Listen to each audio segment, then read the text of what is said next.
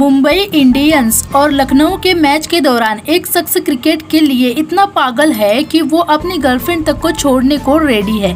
इस आदमी के हाथ में एक पोस्टर है, जिसमें कुछ लिखा हुआ है।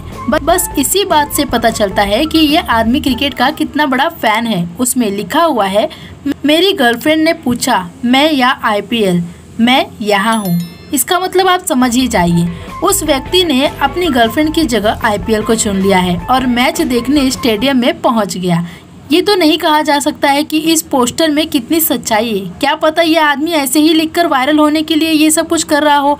लेकिन ये अब सोशल मीडिया पर खूब वायरल हो रहा है। लोग क्रिकेट के इस दीवाने की जमकर तारीफ़ कर रहे हैं। ये पोस्टर भी खूब शेयर किया जा रहा है। दोस्तों, आए दिन सोशल मीडिया पर आईपीएल के बहुत से वीडियोस और फ़ोटोज़ वायरल होते रहते हैं, जिसका हकदार कैमरामैन होता है।